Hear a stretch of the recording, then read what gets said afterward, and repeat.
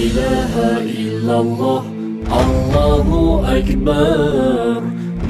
محمد رسول حضرات گرامی، خدا کے نام کے بعد کون ہے جس کے نام کو اردو وظیفہ بنانے کی اجازت ہے؟ بلکہ موجب سعادت ہے، یہ وہی ہے جن کا نام نامی اس میں گرامی محمد ہے، احمد ہے، صلی اللہ علیہ وسلم۔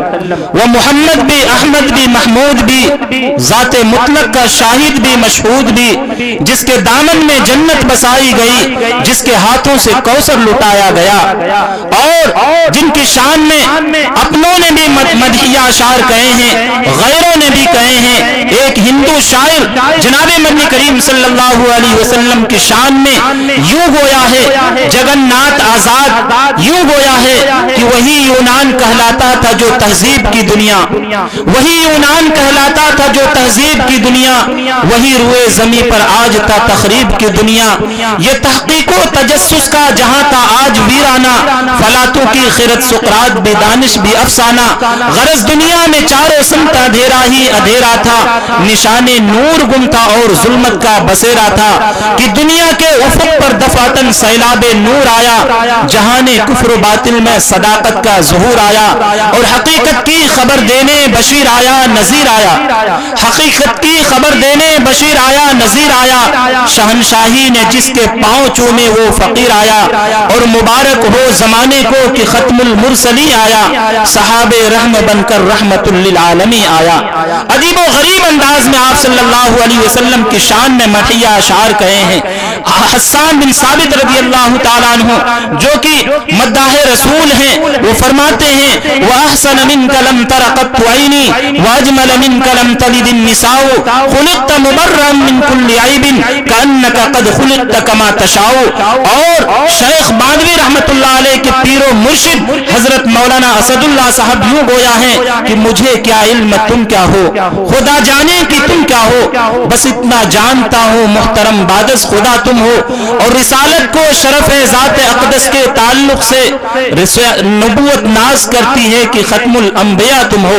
ایک عربی شاعر نے چالیس ہزار آپ صلی اللہ علیہ وسلم کی شان میں اشعار کہے ہیں۔ اس کے بعد جو انہوں نے چار مصرے کہے ہیں، جس کا ترجمہ ایک اردو شاعر نے کیا ہے کہ تھکی ہے فکر رسا مدہ باقی ہے۔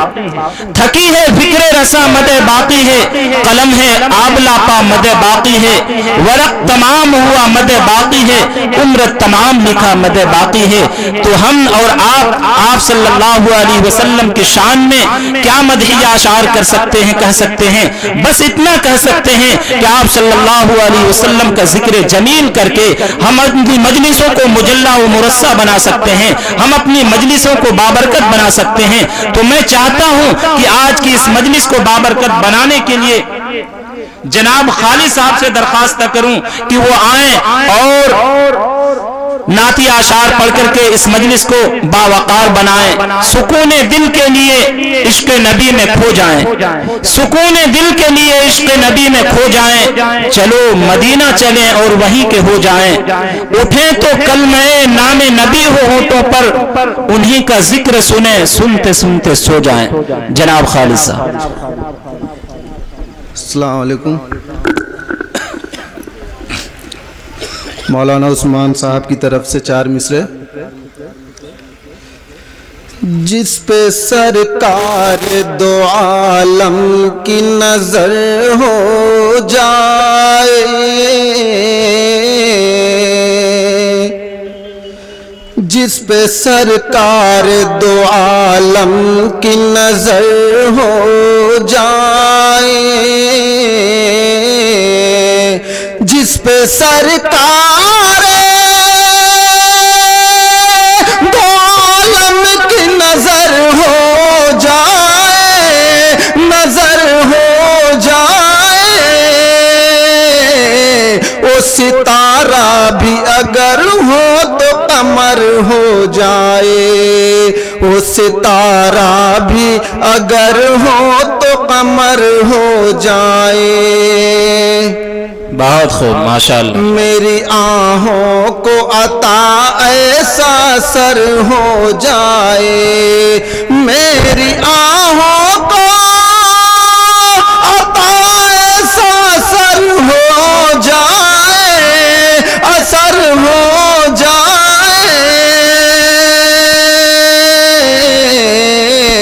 میں جو تڑپوں تو محمد کو خبر ہو جائے۔ میں جو تڑپوں تو محمد کو خبر ہو جائے۔ اور نعت پاک کا شعر۔ ارشاد۔ حوض پر اس کے مقادر کا ستارہ ہوگا۔ حوض پر اس کے مقادر کا ستارہ ہوگا۔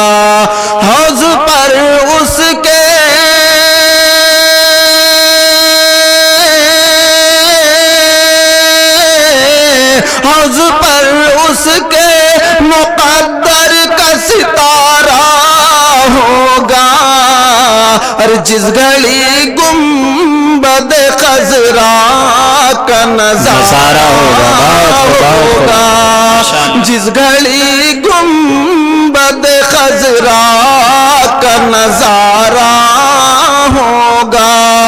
فیصلہ نار جہنم کہو امت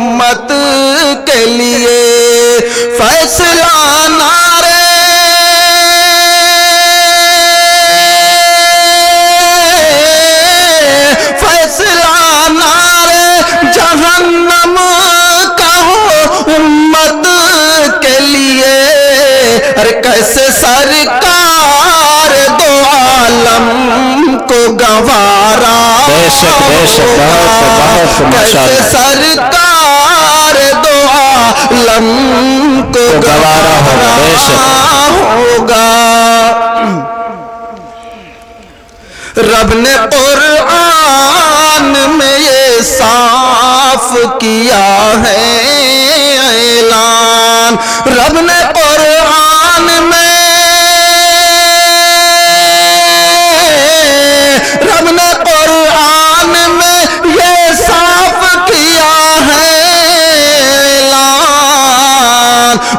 ہمارا نہ ہوا کیسے تمہارا